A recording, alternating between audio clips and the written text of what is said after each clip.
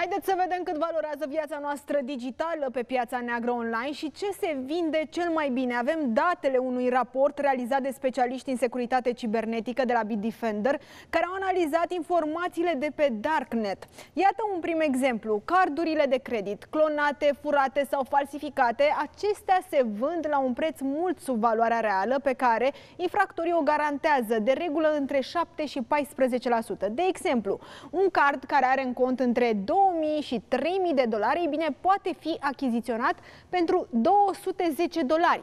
Pe de altă parte, conturile compromise de pe rețelele sociale strânesc un mare interes pe piața neagră virtuală și reprezintă o afacere profitabilă.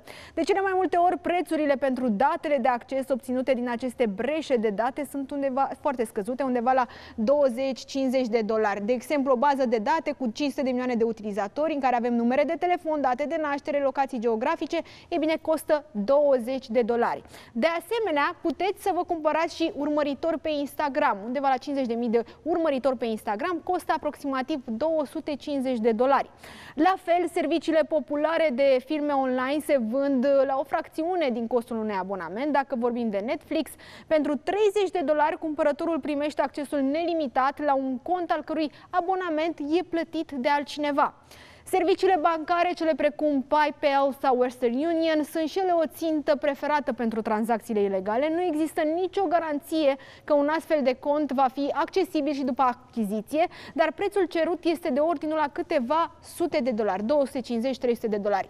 Actele de identitate reale sau falsurile foarte bine realizate se numără printre produsele cele mai scumpe.